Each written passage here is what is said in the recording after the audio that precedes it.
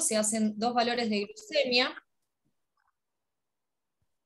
Para el diagnóstico se hacen dos valores de glucemia plasmática, luego de al menos 8 horas de ayuno, y eh, bueno, se diagnostica si son mayores a 100 miligramos o más. Eh, y luego un valor de glucemia plasmática a los 120 minutos, luego de una prueba de tolerancia con 75 gramos de glucosa mayor a 140 miligramos por decilitros. Bueno, en cuanto a los síntomas, eh, en realidad puede haber ningún síntoma, pueden no sentirlos, o, pueden tener, por ejemplo, polifagia, polidipsia, poliuria, sentir fatiga, o tener eh, variaciones en el peso. ¿Cómo es el algoritmo diagnóstico?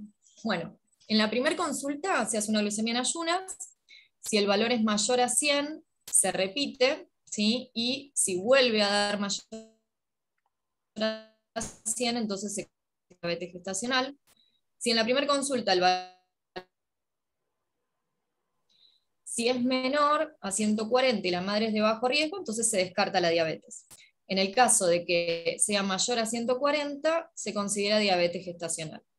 En el caso de las madres de alto riesgo, se repite este P75 entre las 31 y 33 semanas, y si da mayor a 140, entonces se considera diabetes gestacional. ¿Cuáles son los factores de riesgo para esta diabetes? Bueno, tener antecedentes de diabetes en embarazos anteriores, ser mayor a 30 años, tener un índice de masa corporal igual o mayor a 25, antecedentes familiares de primer grado con diabetes, antecedentes de recién nacidos que sean macrosómicos, antecedentes de mortalidad perinatal, antecedentes de madres eh, de alto o bajo peso al nacer, de síndrome de ovario poliquístico, preeclampsia, hipertensión inducida por el embarazo, antecedentes de hipertensión preconcepcional, las multíparas, si tienen eh, el feto una circunferencia abdominal superior al percentilo 75 a partir de la semana 28. Bueno, hay ciertos grupos étnicos que tienen mayor prevalencia, el embarazo múltiple y la utilización durante el embarazo de drogas hiperglucemiantes. Los riesgos de diabetes en el embarazo son bueno, los abortos espontáneos, las anomalías fetales, la preeclampsia, la muerte fetal y la macrosomía, y también la asfixia. Las complicaciones que pueden darse en el hijo de madre diabética son bueno, hipoglucemias del 10 al 50% de casos, sobre todo en recién nacidos de peso elevado o los prematuros, esto puede ser secundaria al hiperinsulinismo por hiperplasia de las células beta de los islotes de Langerhans, del páncreas. Suele ser más frecuente en las primeras tres horas de vida, ¿sí? porque hay una caída brusca del aporte de glucosa. Esto puede generar también depresión neurológica, hipotonía, temblor, apneas, hipocalcemias, del 20 al 30% de los casos. Esta suele aparecer entre las 24 y 72 horas de vida y puede ser por hipoparatiroidismo funcional transitorio, eh, puede generarse también hiperbilirubinemia, síndrome de distrés respiratorio, policitemia. Y bueno, y como hablamos antes, esto, todo esto aumenta el riesgo de obesidad, hipertensión y diabetes tipo 2 en el recién nacido a largo plazo. Bueno, ¿cómo es el tratamiento? El tratamiento principal es con plan de alimentación. Si cumple los objetivos en un 80% de los perfiles y tiene un buen control metabólico, va a continuar con la dieta y los controles. Pero en el caso de que no alcance los objetivos de control con la dieta sola, en ese caso se hace insulinoterapia. ¿Cuáles serían las frecuencias de las consultas? Bueno, en un paciente con normoglucemias en ayunas, en tratamiento solo con dietas, sin patologías asociadas, sin macrosomía fetal, las consultas van a ser quincenales hasta la semana 36 y luego semanales. En cambio, si es un paciente con normoglucemias en ayunas, en tratamiento con insulina, y que tiene, o que tiene hiperglucemias en ayunas, va a ser quincenal hasta la semana 32 y luego semanales. Bueno, como dijimos antes, la primera opción del tratamiento es la, eh, para la diabetes gestacional es la dieta. ¿Cuáles serían los objetivos de este tratamiento? Bueno, primero, lograr que la ganancia de peso durante el embarazo sea adecuada. En el caso de las personas con un índice de masa corporal que tienen bajo peso, la ganancia recomendada va a ser de 12,5 a 18 kilos, en un peso normal de 11 a 12,5 kilos, en sobrepeso de 7 a 11,5 y en el caso de obesidad 7 kilos. Bueno, otro de los objetivos es mantener los valores de, control metabólico en rangos normales. En el caso de las glucemias, las, que haya cetonuria negativa, fructosamina adecuada, hemoglobina glicosilada adecuada, que no haya hipoglucemias y que haya un aumento de peso adecuado como vimos recién. Bueno, el objetivo número 3 es promover el automonitoreo frecuente de glucemias. Y el objetivo número 4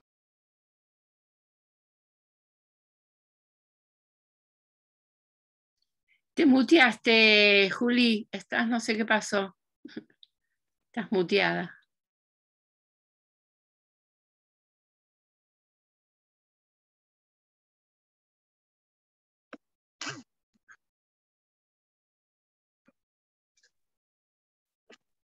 ¿Ahí me escuchan? Sí. Y no sé qué. No, lo último, ¿eh? El último pedacito. Ah, bueno, el, punto 4 que era promover hábitos de alimentación que garanticen la satisfacción de los requerimientos nutricionales durante el embarazo. Eh, a ver, ¿por qué se achicó?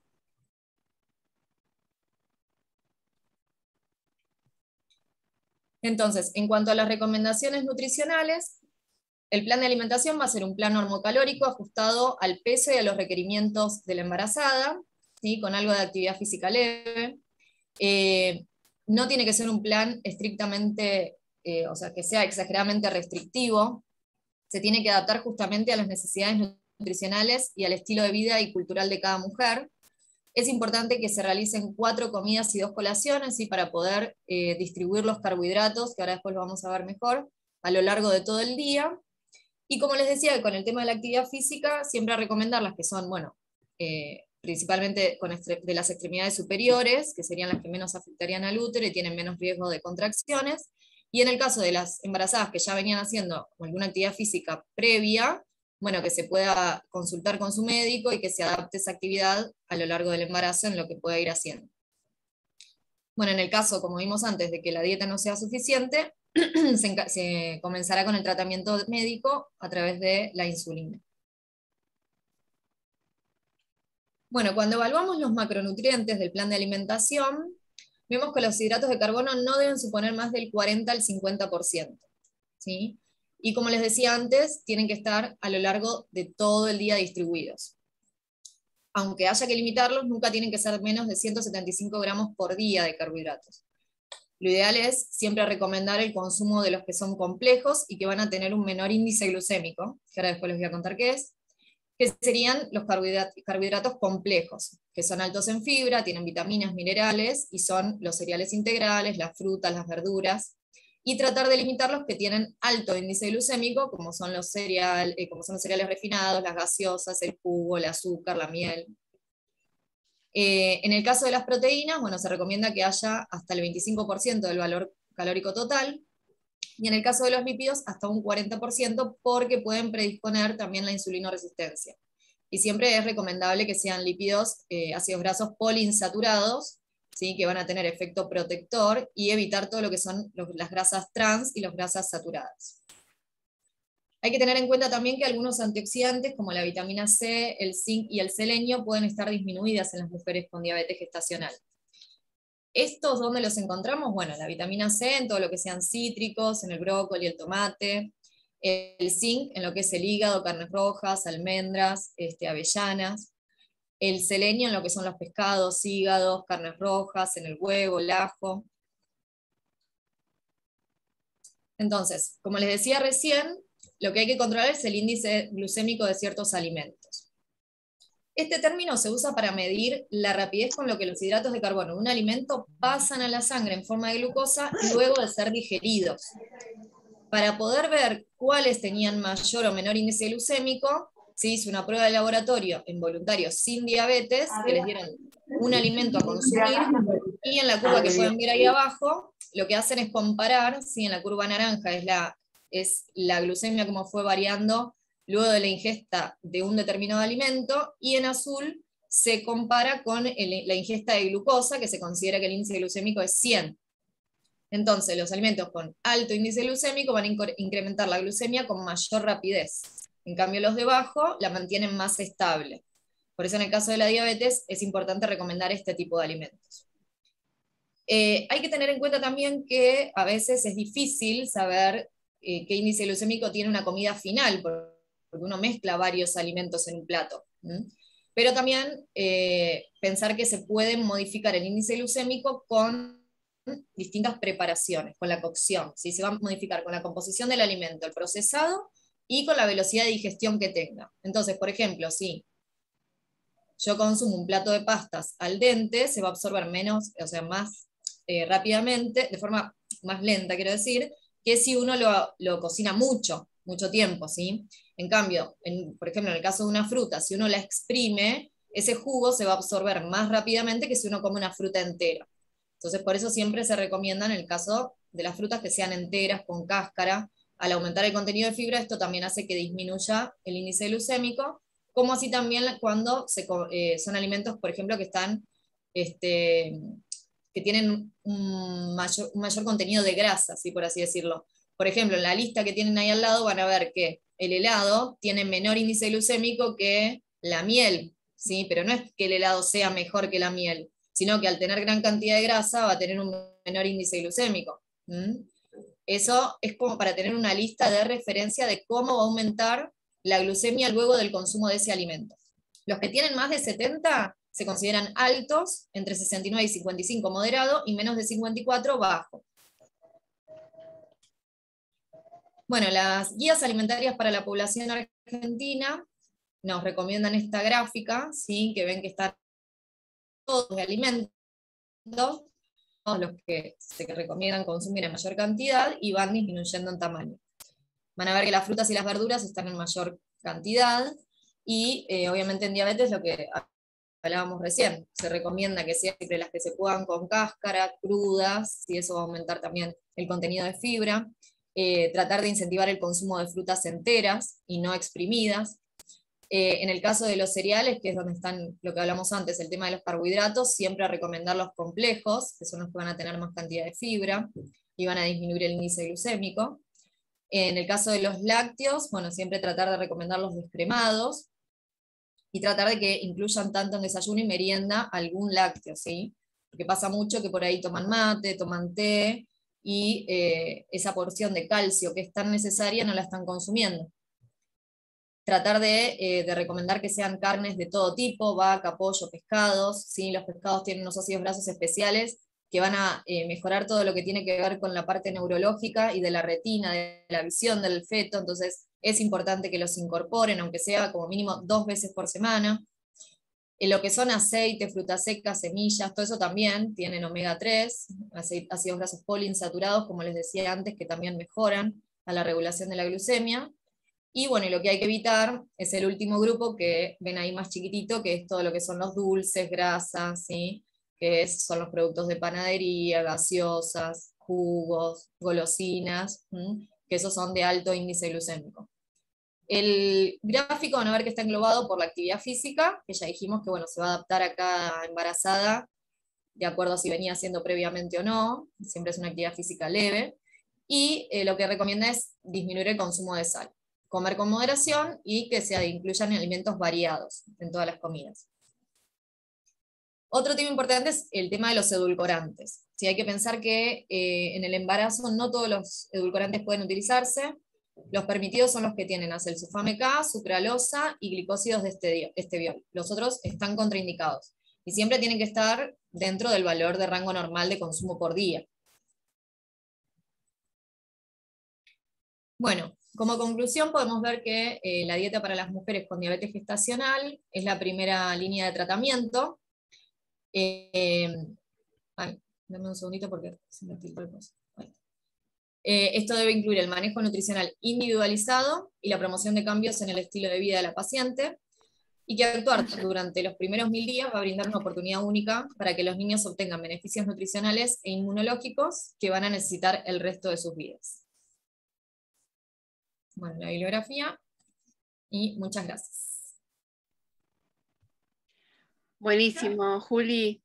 Gracias por tu exposición muy, muy clara. Y si les parece, ahora seguimos con la doctora que vi que recién se conectó, que es Aide Graham. Ella es médica diabetóloga del Hospital Edil de Escobar. Eh, ¿Estás por ahí, Aide? Sí. Hola, buenos días a todos. ¿Qué tal? Bueno, muchas gracias por estar hoy acá con nosotros. No, gracias a, la invitación. Y bueno, era algo que había quedado un poco pendiente, que lo habíamos hablado con Hernán eh, antes de, la pandemia y todo esto, de, poder armar alguna pequeña charlita. Eh, por ahí algunas cosas van a estar repetidas, porque eh, estaba pensado, por lo menos esta primera parte, más que nada en base al diagnóstico de diabetes, eh, pero les voy a dar después algunas cosas más y, por ahí hay cosas que no están escritas, pero que las podemos ir charlando. ¿sí?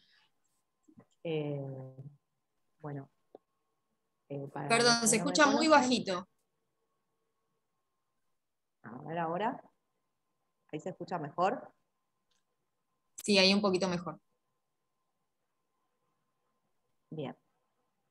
Eh, bueno, mi primera especialidad es medicina general y hace ya más de 10 años que me dedico a la parte de diabetes y hice varios cursos de diabetes gestacional. En algún momento teníamos un consultorio de diabetes gestacional junto con la doctora Olmos en el hospital, al cual concurrieron algunos residentes. Y bueno, ahora sigo haciendo eh, diabetes y embarazo y también veo pacientes diabéticos eh, otros días.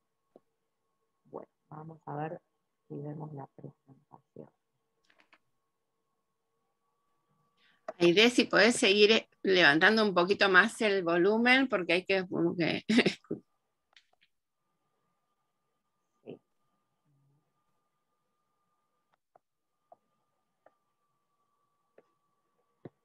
quiero compartir la pantalla y no encuentro el...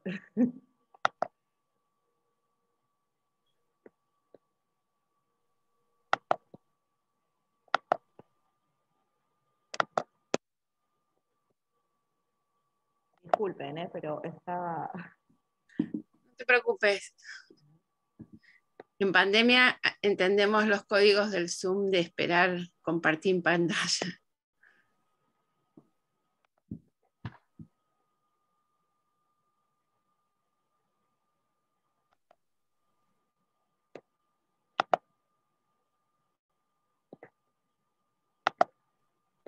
Ahora sí, ¿pueden ver la pantalla?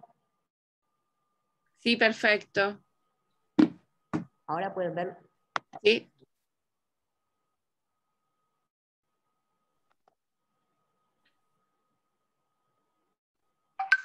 Perfecto. Bueno. Eh, en los últimos años se ha presentado un aumento en la prevalencia de obesidad y diabetes. La diabetes está apareciendo a edades más tempranas y también hay un desplazamiento del embarazo a edades mayores que conllevan a un aumento de los casos de diabetes en el embarazo.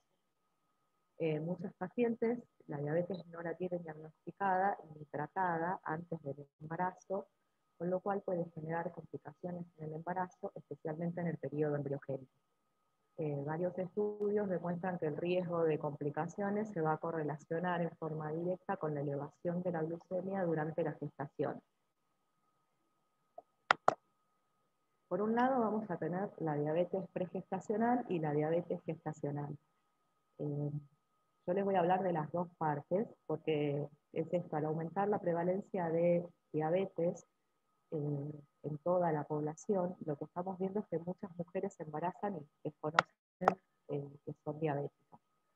La diabetes pregestacional corresponde a aquella mujer con diabetes tipo 1 o diabetes tipo 2 o otros tipos de diabetes en la cual se embaraza o una embarazada que cumple con los criterios diagnósticos de la OMS durante el primer trimestre.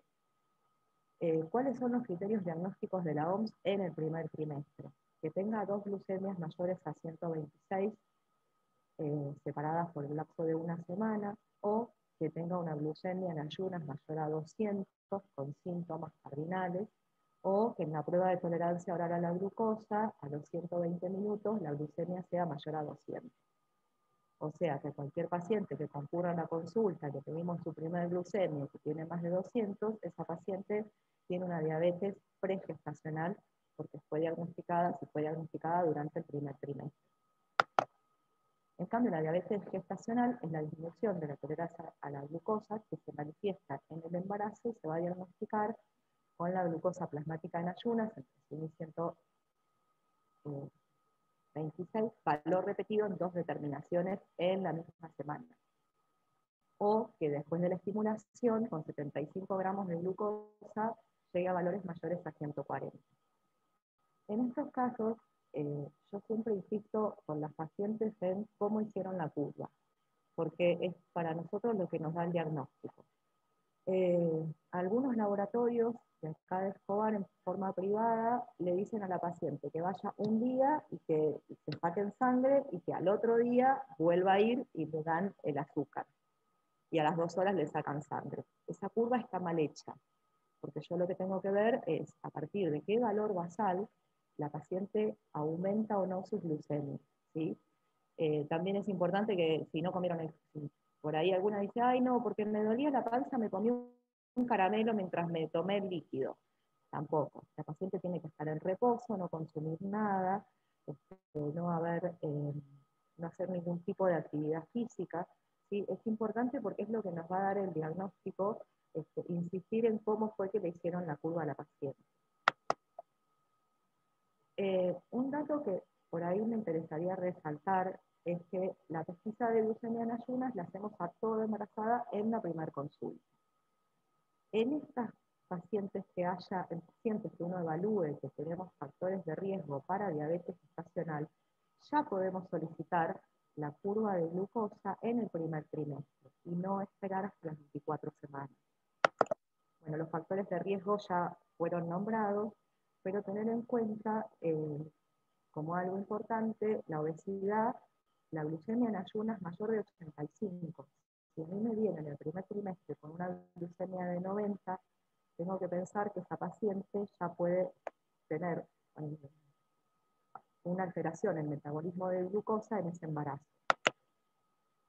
Bueno, y acá seguimos con todos los factores que no los repito porque los nombraron en la charla anterior. Eh, ¿Qué buscamos también? Es prevenir la diabetes gestacional. Entonces, se nos presenta una embarazada que tiene obesidad o antecedentes de diabetes gestacional y presenta una glucemia en ayunas entre 85 y 99 en el primer control, ya debería tener un estricto seguimiento con plan de alimentación y actividad física para prevenir el desarrollo de su diabetes gestacional.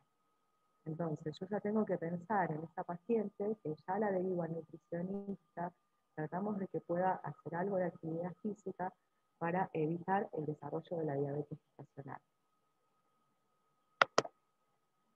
En esto, bueno, vamos a ver cuál va a ser la ganancia de peso que buscamos en todas las embarazadas. Y supongamos que mi paciente venía bien, con sus leucemias, esperamos hasta la semana 24 y 28 y le pedimos la curva. ¿sí? En el caso que eh, la curva sea normal y no tengo factores de riesgo, descarto la diabetes. Si tengo factores de riesgo, vamos a repetir esa curva entre las 30 y las 30 semanas para poder determinar si eh, aparece o no diabetes estacional. Bueno, con respecto al tratamiento de la diabetes estacional, siempre nos vamos a basar en la educación, el plan de alimentación, la actividad física eh, y el automonitoreo glucémico. Esos son los cuatro pilares. En el caso que no alcancemos los objetivos, vamos a comenzar el tratamiento farmacológico, que siempre es con insulina. Con respecto a la educación, eh, es importante explicarle a la paciente qué es la diabetes gestacional, este, cuál es la importancia de que pueda realizar el tratamiento. En los casos que se inyecten insulinas hay que conocer el efecto, saber dosificarla, inyectarla y conservarla, conocer los tipos de insulina que existen, explicarles que no se puede mezclar el frasquito que tiene el líquido blanco con el frasquito que tiene el líquido transparente, que tienen que estar muy atentas en el momento de la inyección de la insulina, cuáles son los sitios donde uno los inyectamos. Eh, lo otro es saber anotar e interpretar los resultados del automonitoreo. Eh, en general, yo siempre trato de eh, explicarle a la paciente cómo se tiene que pinchar el dedo, cuál es la importancia de la limpieza del lugar de, de tensión, Eh, también saber que muchas veces usan alcohol y no dejan que el alcohol se seque, con lo cual le puede dar un resultado este, que esté alterado. Eh, y en qué momentos del día son importantes realizar los controles glucémicos. Eh, poder eh, darle pautas de alarma para prevenir en qué situaciones tiene que consultar al equipo, ¿sí? cuando se detecta una hiper o una hipoglucemia. En casos de hipoglucemia, las pacientes que utilizan insulina tienen que saber cómo tienen que actuar en ese momento. Eh, también buscamos prevenir el futuro desarrollo de diabetes en esa paciente, y bueno, la capacitación en lactancia materna y elección del método anticonceptivo para después del embarazo. Bueno, con el plan de alimentación eh, siempre debe ser individualizado, hay que controlar el aumento de peso materno, ajustar el valor calórico según la progresión y la curva de peso materno fetal en forma personalizada, eh, no restringir demasiado el consumo de sodio, la distribución de las comidas se va a hacer, bueno, acorde a cada región, también acorde a cada paciente, no es lo mismo aquella paciente que está con plan de alimentación que aquella que está con insulina, hay que ver si necesita... Aide, discúlpame, se sigue escuchando muy bajito, si levantás la voz, perdón, ¿no? Pero te insisto porque no te escuchamos. Bien, entonces la distribución de las comidas que lo acordamos a cada región y también a cada paciente. No es lo mismo la paciente que está solo con plan de alimentación que aquella que está en tratamiento insulínico, donde también tenemos que evaluar si necesita colaciones de acuerdo al momento en que va a actuar la insulina. Y algo importante es que se recomienda no superar un lapso de 6 a 8 horas entre la última ingesta nocturna y el desayuno para evitar la cetosis de ayuno. Eh, muchas pacientes cenan por ahí a las 9 de la noche y después se levantan a las 11 de la mañana. Eh, y entonces a veces vienen con hipoglucemias o con glucemias más elevadas entonces siempre insistimos en que coman algo antes de irse a dormir este, para evitar esto de la cetosis de ayuno y a veces hacen hiperglucemias por hormonas de contrarregulación también. Bueno, la ganancia de peso materno va a depender del índice de masa corporal de la madre previo al embarazo y se recomienda hacer el seguimiento de peso con la curva de peso de Rosa Mardones. ¿Hasta acá alguna duda, alguna consulta?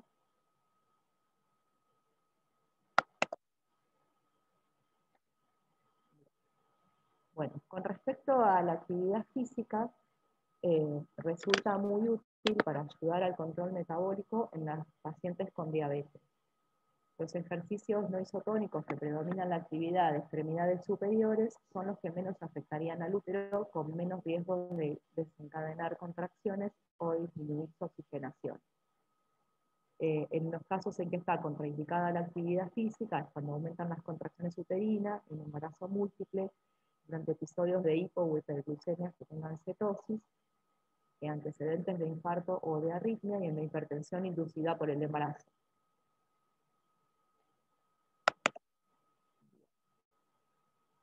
Para el control, toda paciente con diagnóstico de diabetes gestacional eh, debería realizar el monitoreo glucémico. Va a ser el patrón más importante porque va a ser el que determine las conductas terapéuticas. ¿Cuáles son estos objetivos de control? Que mantenga una glucemia en ayunas entre 70 y 90, una postprandial entre 80 y 120 y evitar las hipoglucemias. En algunos casos, a veces se puede pedir un control postprandial a la hora, que debería ser entre 85 y 140, pero bueno, son casos más especiales, en general no lo hacemos, este, porque hay alguna paciente con diabetes tipo 1 que tenga un difícil manejo, a veces la prandial le da bien, pero después vemos que, que le está creciendo demasiado, por ejemplo, entonces sabemos que hay algún aumento mayor de glucemia que, que lo podemos encontrar con ese parámetro.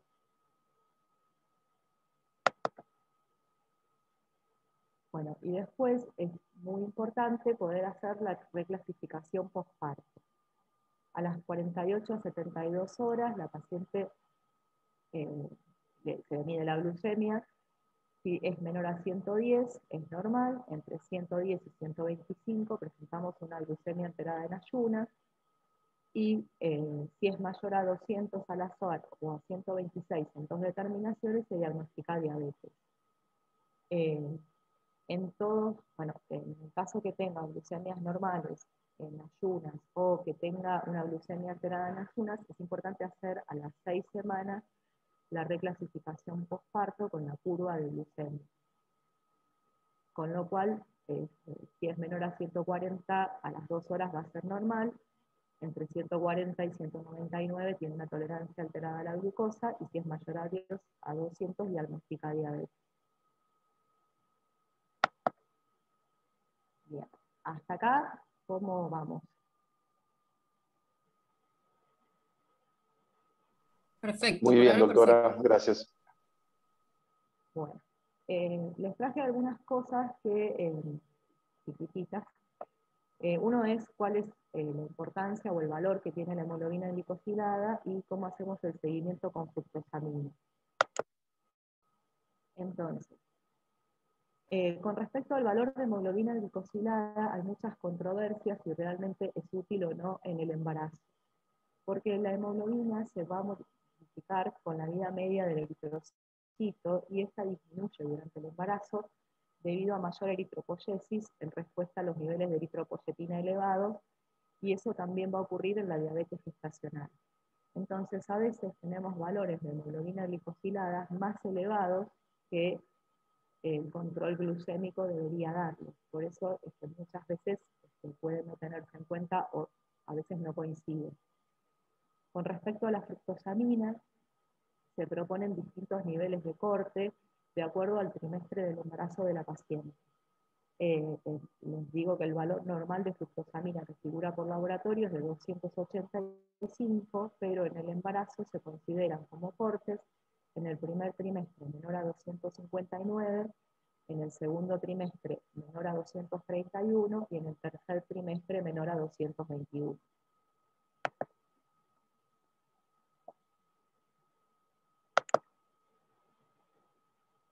Eh, hay algunos estudios que hablaban de pedir hemoglobina glicosilada como diagnóstico eh, de diabetes gestacional este, y no pedir la, curva de glucosa. Durante la pandemia en España se tomaron algunos valores de corte de hemoglobina glucosilada, pero que eran mucho menores, este, para que las pacientes no tuvieran que hacer este, la curva de tolerancia y no tener que exponerse en los centros de atención durante dos horas para tener los resultados.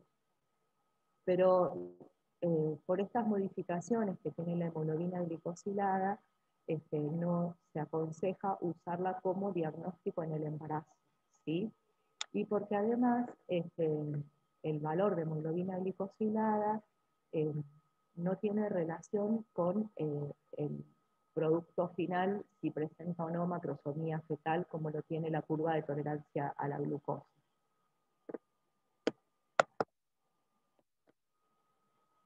Bueno, con respecto al automonitoreo, el esquema de automonitoreo se va lo vamos haciendo de acuerdo a la severidad de la alteración que presente la curva de glucosa.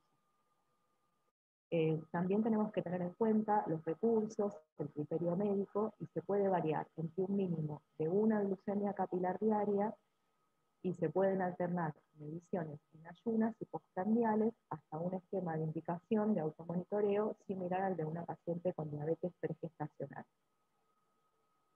Eh, este punto muchas veces eh, es como que a alguna paciente uno dice, bueno, ¿por qué a esta paciente le pedís tres monitoreos y a la otra paciente le pedís seis?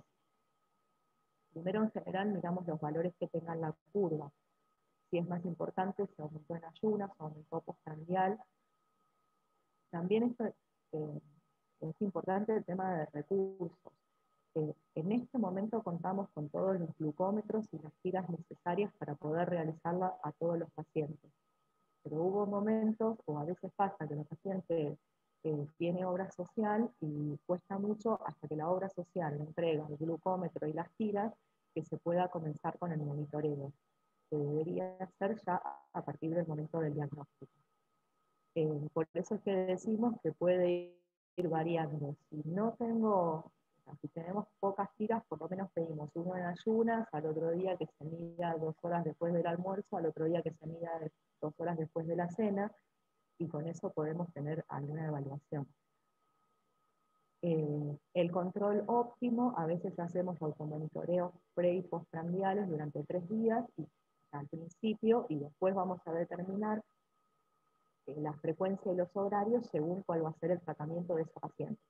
Eh, hay pacientes que están solo con plan de alimentación y tienen controles muy buenos, entonces solo hacemos tres controles en el día pero también eh, hay que tener en cuenta que en el caso de que la curva de crecimiento eh, entre la semana 28 y 30 tenga un crecimiento disarmónico con una circunferencia abdominal mayor al percentilo 70, eh, tenemos que pensar que algunos escapes glucémicos hay y por eso es importante aumentar la frecuencia del monitoreo glucémico para evaluar en qué momento está aumentando, está generando esos aumentos de glucemia.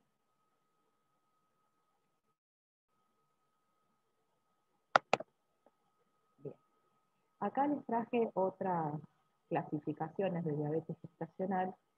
Eh, la clasificación que usamos habitualmente en Argentina, que usa la Sociedad Argentina de Diabetes y que se usa en Latinoamérica, es la de la Asociación Latinoamericana de Diabetes, que es la que vimos previamente. En algún momento Sofía utilizaba los criterios de ADA y hubo un grupo de reunión que es el IAPSG, eh, que es la Asociación Internacional de Diabetes y Embarazo, el estudio, los grupos de estudio, donde tienen realizar la curva de glucosa y toman como valores eh, en ayunas 92 y 95.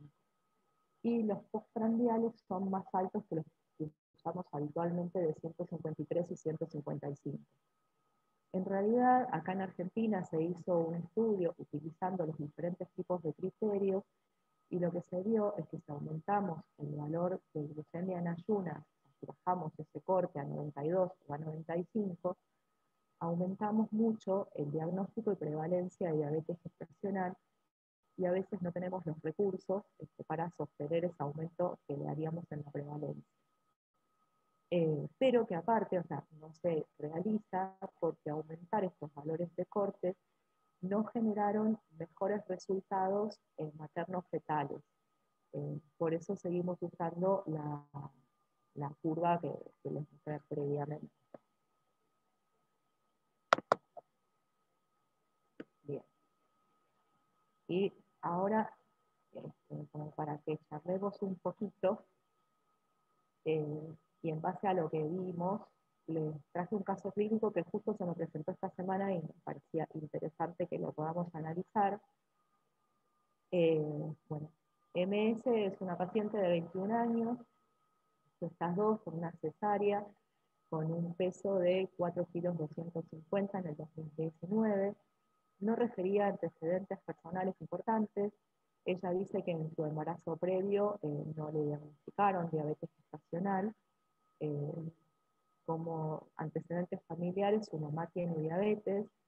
Ella consultó a las 33 semanas de embarazo eh, con una FUM del 17 del 1. Tuvo un peso al inicio de su embarazo de 104 kilos con una talla de 1,59 m y un índice de masa corporal de 41,3. Presentó una ecografía perdón, un laboratorio del 7 de, abril de este año con una glucemia de 90. Y eh, su ecografía la, anoté ahí, pero coincidía con su fecha de última menstruación. Con respecto a este caso y a lo que vimos en base al diagnóstico, ¿qué conducta hubieran tomado con esta paciente eh, si los consultaba en abril-mayo?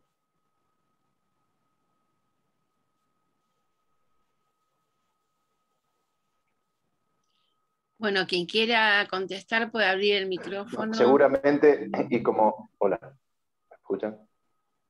Seguramente, como adelantó antes la doctora, le hubiese pedido una curva de tolerancia antes de las 24 semanas. Bien. O sea, a esa parte está a, lo que iba con, lo que es el diagnóstico. Eh, y eh, con respecto, bueno, a un, perdón, y con respecto al índice de masa corporal de 41, este, le, le, estalla en la cara, por lo menos a mí. Bien. Sí, esa era la idea. Esta paciente presentaba como factores de riesgo que ya su glucemia era mayor a 85, una obesidad mórbida, ¿sí?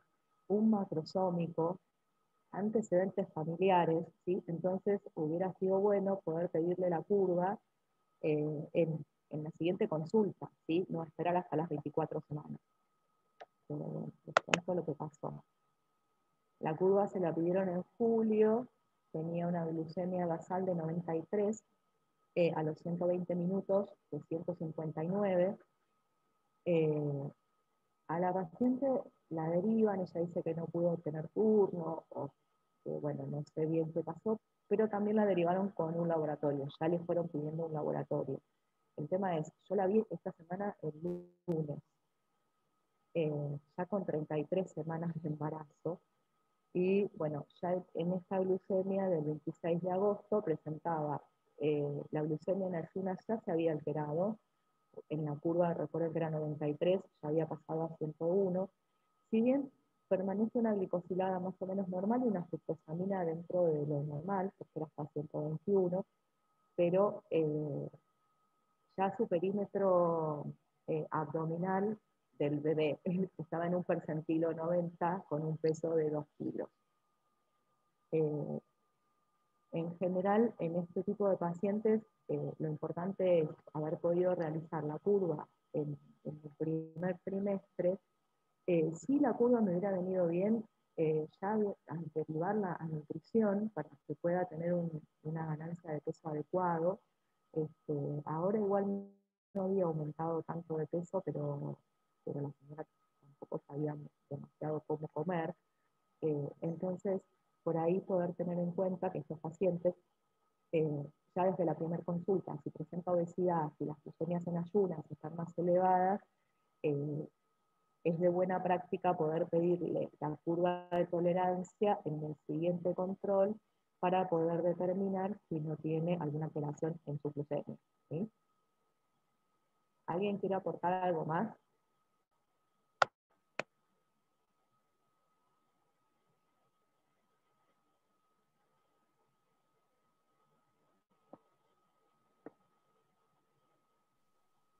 No, ah, este, yo creo que está muy completa la exposición y te lo agradezco un montón.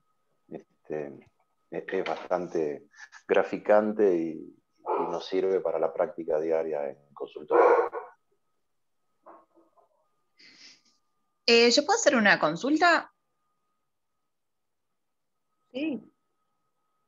Eh, con respecto a los laboratorios de mm, las P75 que vos decís de repetir, bueno, si dan normales entre las 30 y 33 semanas, porque he tenido algunas pacientes, no hay problema con el laboratorio, que a veces ya las 28 semanas dice que le hacen la P75 hasta las 28 semanas y no se las quieren hacer.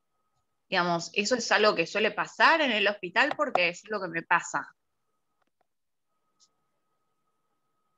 Eh, no debería, o sea, no hay ninguna normativa que deje, que, diga que no le hagan la P75 en ningún momento del embarazo. Lo tendría que chequear con la gente de laboratorio. Sí, porque me ha pasado un par de veces y digo, bueno, capaz que era una nueva normativa, pero bueno, viste, a veces son embarazadas que no tienen como un control adecuado del embarazo y a veces te llegan, ponele 27, 28 semanas y vos decís, bueno, aunque sea eh, tratar de, que entren hasta antes de las 32, 33 y muchas veces me las rebotan, ¿viste? Entonces eh, quedan ahí como colgadas. Pero bueno.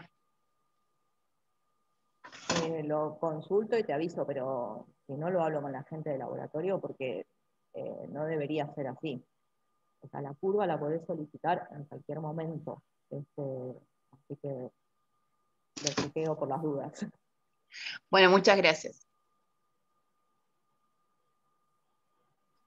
Hola, doctora.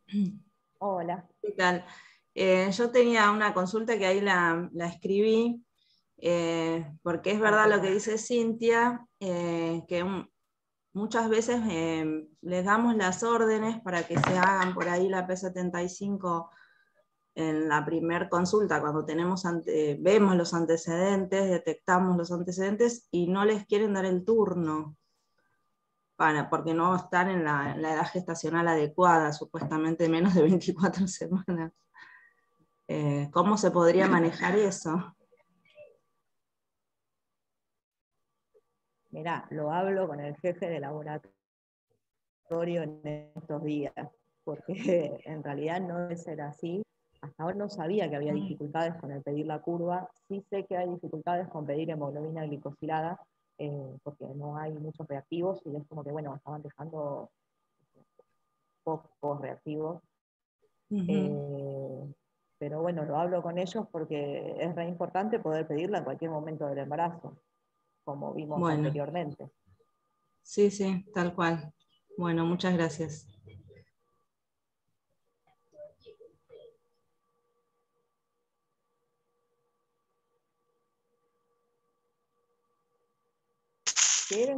Hola, ¿me escuchan? Ahí está. Sí. ¿Qué tal? Buen día. Yo quería hacer una consulta, porque con el tema de los turnos, la verdad que sí, estamos con bastantes problemas eh, para que consigan turno o se haga en el tiempo adecuado. Eh, muchas veces llegan eh, P75, pero de embarazos de tercer trimestre o muy avanzado. 35 semanas, 36 semanas, porque no le dieron el turno, porque no pudo sacar. Eh, la consulta era, ¿esa P75 en cualquier trimestre es igual, vale igual? Es, eh, ¿La podemos tomar como válida, por decirlo de algún modo? Sí, o sea, el tema es el siguiente, vos la podés solicitar si la paciente tiene factores de riesgo. Ya, o sea, la primera consulta le pedís una glucemia, eh, pero si la glucemia te, vino 80, no es mayor a 85, pero tiene muchos factores de riesgo, la podés solicitar igual. Y si ya está alterada, ya ahí comenzar con, el plan de alimentación y todo, ¿sí? que va a ser más estricto que no solo por obesidad, por ejemplo, sino que tener en cuenta mejor eh, el tema de hidratos de carbono. Bien, y si no tiene factores de riesgo... por eso, por, si no tiene factores de riesgo, esperás hasta las 24 semanas. Está bien, pero si la pido a las 24 y se la hacen a las 35, como ha pasado, ¿me sirve igual a las 35 semanas? Pedila. A ver, eh, te va a servir para diagnosticarla, pero el problema es que no vas a poder hacer nada para cambiar lo que ya pasó. Muchas veces yo lo que le diría es pídanla a las 20 para que se la hagan a las 24. Claro. Ahora estoy haciendo eso, la pido a las 20 y viene un poquito mejor. Por ahí tenemos suerte a las 27. Sí. O sea, eh, me pasa muchas veces que eh, llegan al consultorio a las 36 semanas.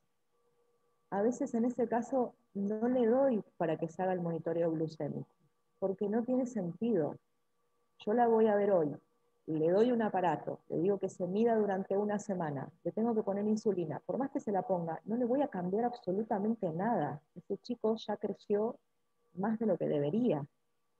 Este, sí la continúo viendo, trabajo sobre el plan de alimentación, le explico la importancia, le pincho el dedo ese día en el consultorio, si me dio demasiado alto, la interno. Porque tampoco tenemos mucho más tiempo.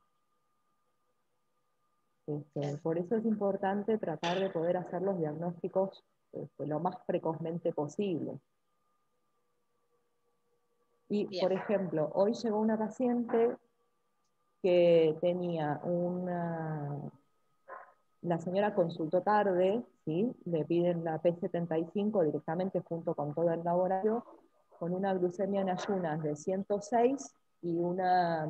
Eh, a los 120 minutos tenía 130. ¿Qué harían con esa paciente?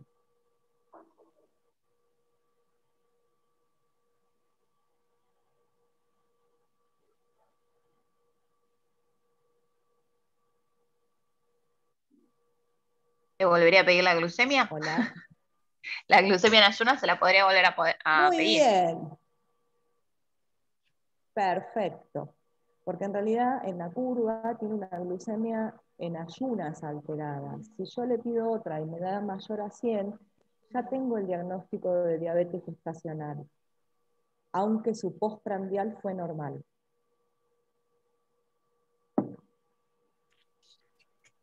Lo vuelvo a repetir. La paciente presenta una glucemia en ayunas de 106, pero una a los 120 minutos de 130.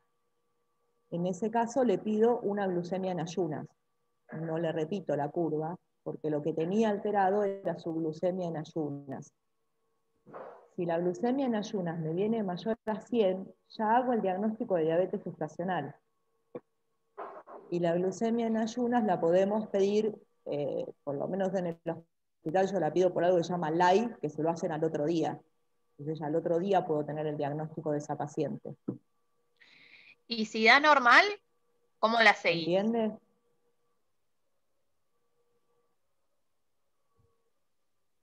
Y depende de las semanas donde esté.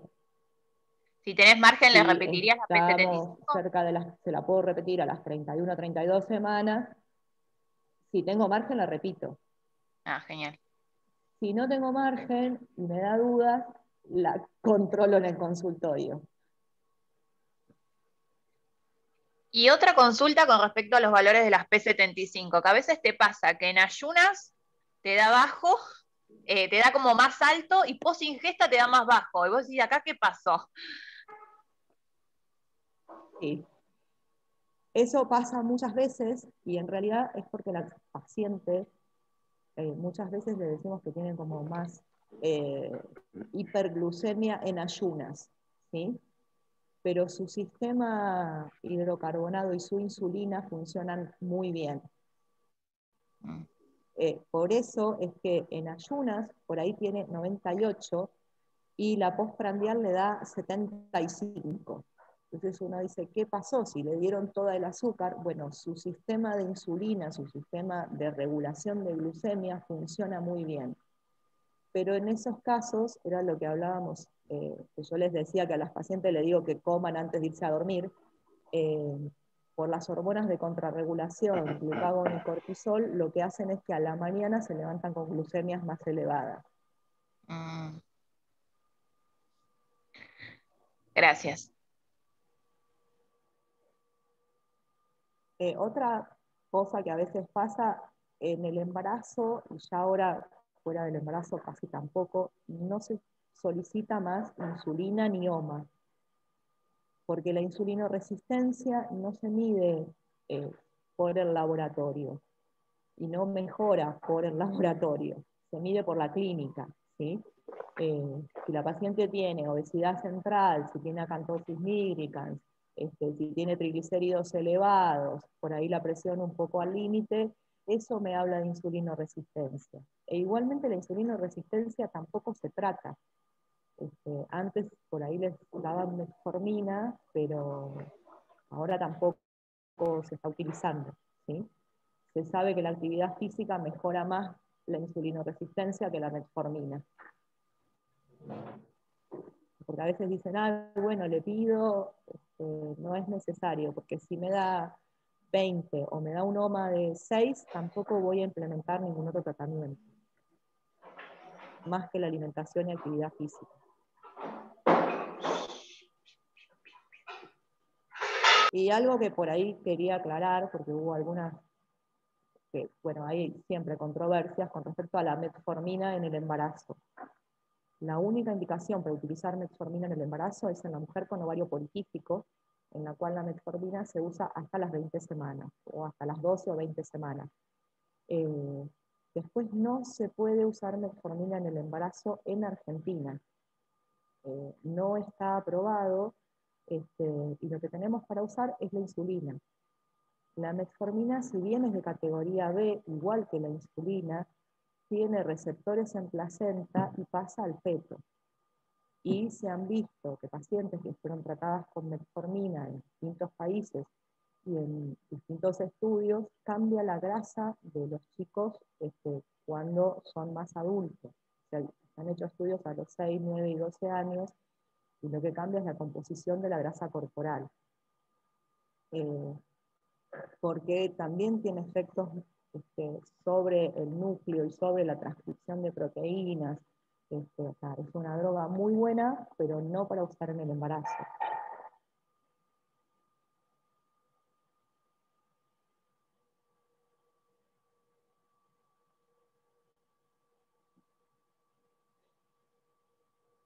¿Alguna otra duda?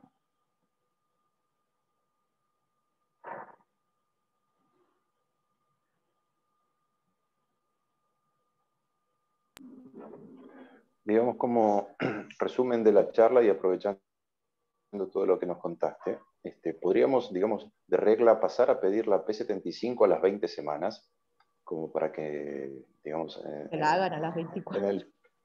Para exactamente, como para que nos, cuando nos llegue nos sirva de algo.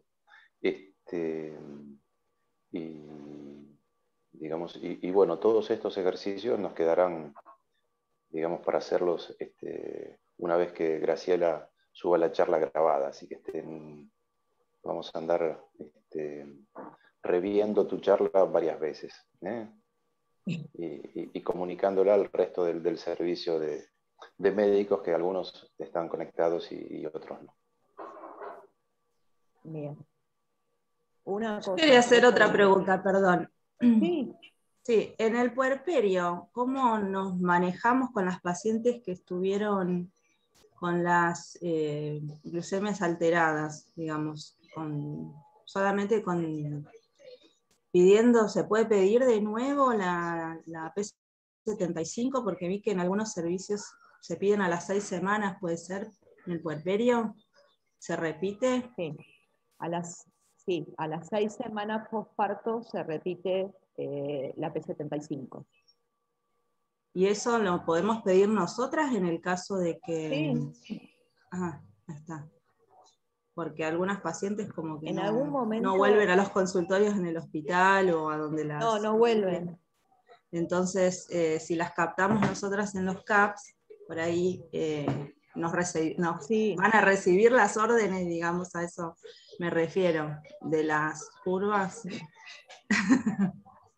Sí, lo voy a hablar con, te digo, lo voy a hablar con el jefe de laboratorio, pero en realidad ustedes pueden pedirla y, es muy importante porque después pasa que muchas pacientes eh, no se controlan y después vuelven con diabetes previa más otro embarazo este, y, podría haber tenido tratamiento previamente. Hubo un momento hace dos o tres años que nosotros le dábamos, bueno, yo no estaba, pero eh, en la gente de Gineco, que estábamos con los residentes y, con las residentes de obstetricia, en el momento del alta le daban la orden para la curva a las seis semanas. bueno, eso después se dejó de hacer, este, pero sí es importante que el que pueda captar a la paciente este, se lo pueda pedir. Ok, gracias.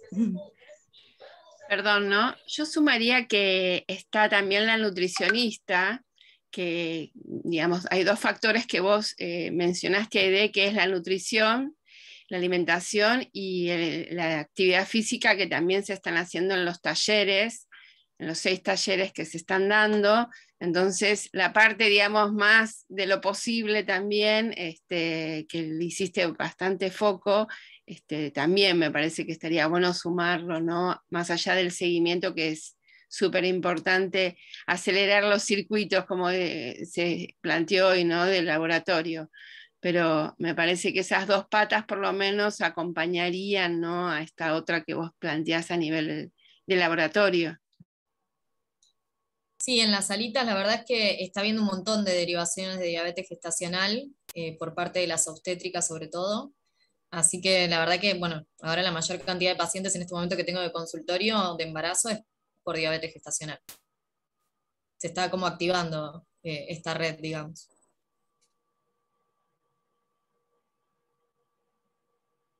Bien, y también a veces eh, derivar a la paciente con obesidad para tratar de que no desarrolle la diabetes gestacional.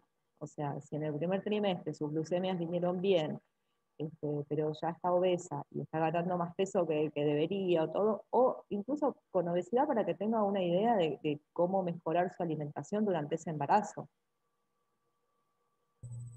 Exacto, sí, la idea es esa. La idea no es llegar a la diabetes, sino que se pueda prevenir. lo principal y lo, ideal siempre es la prevención antes de que llegue la patología. Sí.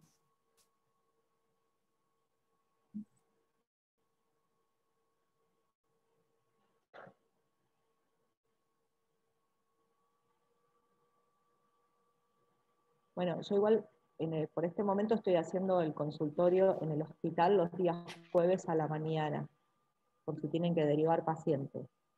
La orden que tienen eh, ahí en la ventanilla es que toda paciente que llega se ve en esa semana para tratar de evitar esto de los turnos y todo esto. Eh, así que eh, cualquier cosa mandan con un papelito que diga consulta diabetes gestacional y las ponen para todas al mismo día y todo. Si en algún momento llego a cambiar el día, le aviso a Hernán para que estén todos al tanto. ¿Podrías repetir el día martes? No, jueves. Ah, no, no escuché, pero jueves. A partir de, a partir de ocho y media. O sea, nosotros lo podemos mandar directamente con un papel de derivación con vos sin que saque el turno. ¿Y en qué, o sea, qué consultorios se deberían dirigir? Lo ideal es que saque el turno antes, pero por ejemplo, si va el lunes le van a dar para ese jueves, si va el ah, martes le dan para ese jueves. ¿sí?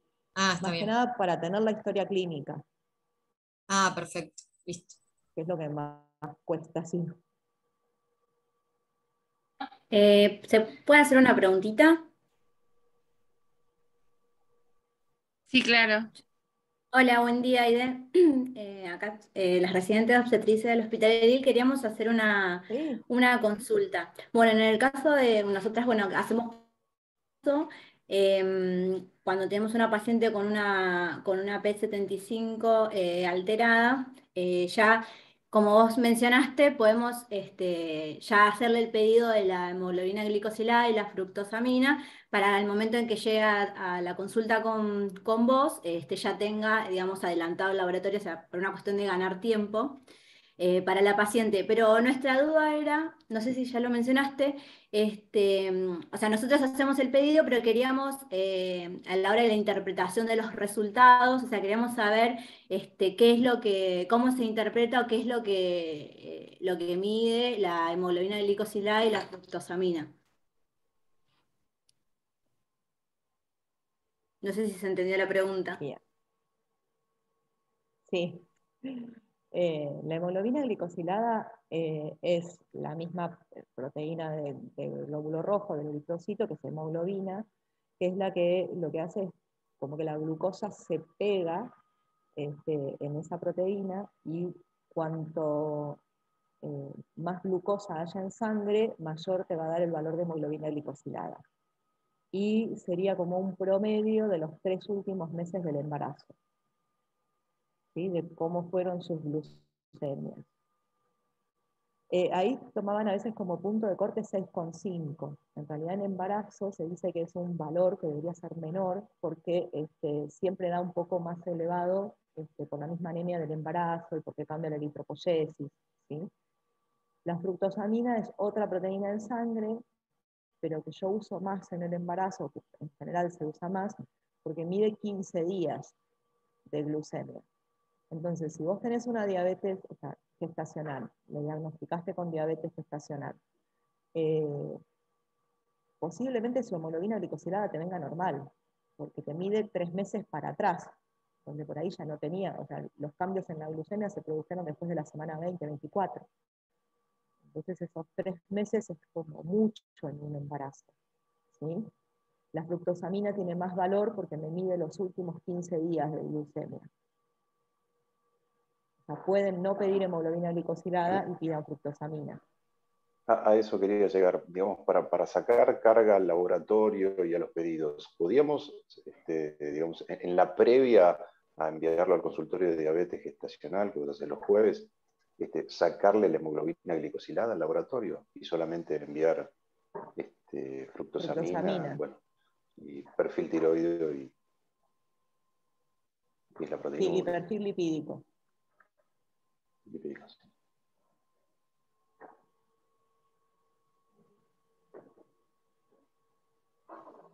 Ay, bueno, muchas gracias por la respuesta. Sí, o sea, yo creo que podemos, no, de nada, Eh, que podemos después ir armando, o sea, a través de estas charlas también nos sirven esto. Yo por lo menos me entero que en el laboratorio eh, no les autorizan las curvas de acuerdo a la semana. Podemos tratar de mejorar eso.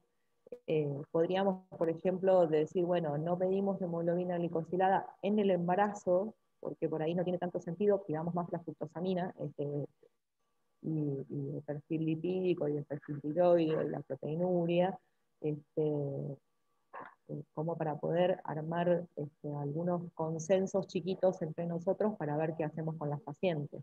¿sí? Y algo por ahí importante, que no lo mencioné, pero que a veces, si una paciente le llega con una glucemia en ayunas mayor a 200, en realidad es algo que habíamos hablado un poco con el servicio del gineco, esa paciente debería internarse. Eh, porque no hay forma de que manejemos esa glucemia rápidamente y es muy riesgosa para ella y para su bebé.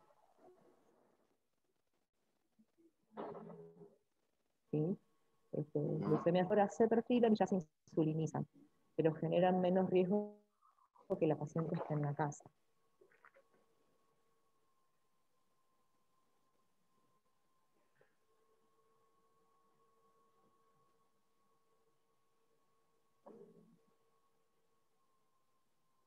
Eh, quería recordarles los horarios en que estoy haciendo consultorio por si tienen que hacer derivaciones. Eh, los días martes en la sala Vilar de Sabio, entre 8 y media y 12 y media, y los días jueves en Velasco, entre 8 y media y 12 y media. ¿Me lo repetís? ¿Martes? Martes en sala Vilar, que es en Sabio, de 8 y media a 12 y media, y eh, los jueves en la sala Velasco de Loma Verde en el mismo horario.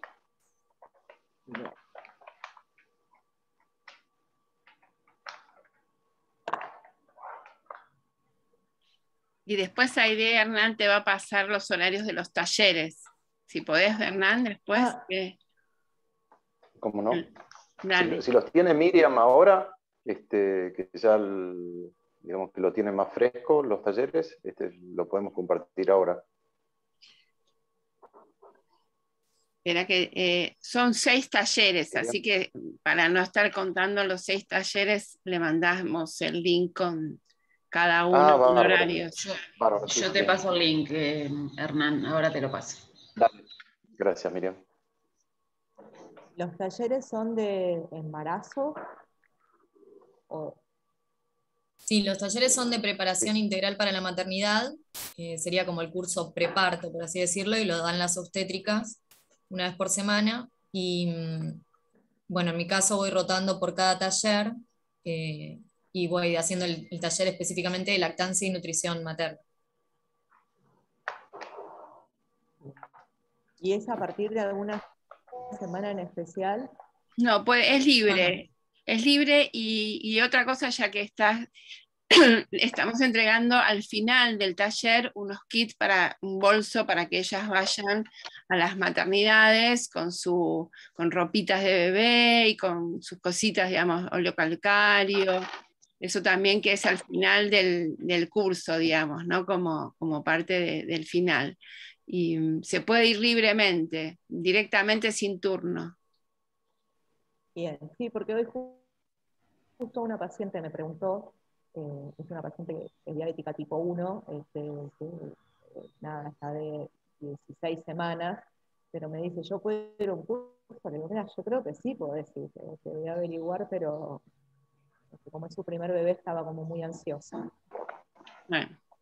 Y en el tercero a veces también. sí.